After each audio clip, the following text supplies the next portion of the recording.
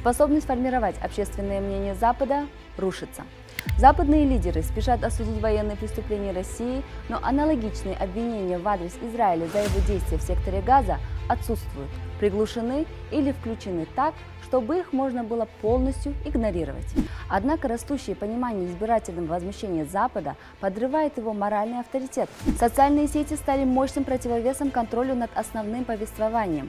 Репортажи из Газы из первых рук достигают глобальной аудитории, несмотря на слепые зоны традиционных СМИ.